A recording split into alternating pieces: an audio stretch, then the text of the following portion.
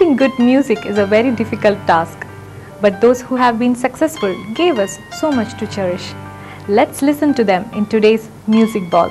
Welcome. Kannappanunni is a very special movie for all movie lovers because it was based on the martial art of Kerala which is called Kalaripayattu. And this movie also had another peculiarity. This marked the 100th movie of Prem Nazir and Sheela together. Let's listen to a beautiful melody from this movie,